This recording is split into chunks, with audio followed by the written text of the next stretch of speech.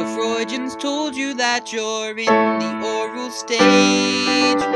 You're just a baby and you're stuck on sucking.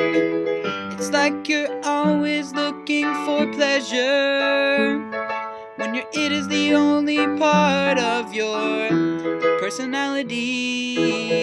Psychosexual development. Psychosexual development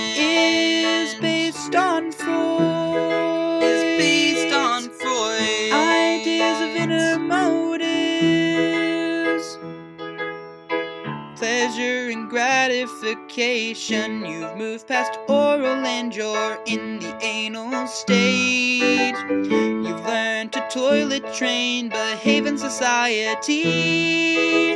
It's like you're almost self sufficient. When your super ego starts to develop, you'll know right from wrong.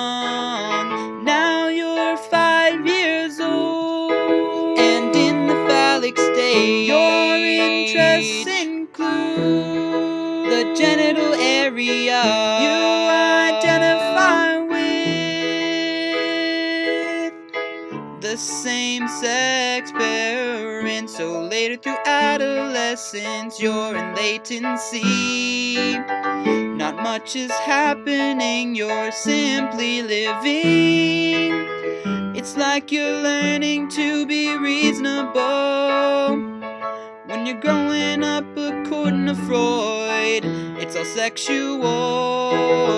Freud knows the ego and the super ego. Unconscious forces drive behavior and action. The ego operates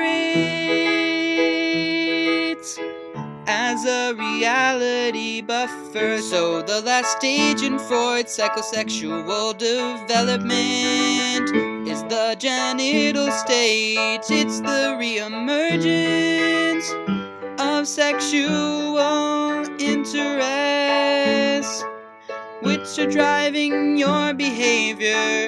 You have grown up now. Psychosexual development. Psychosexual development is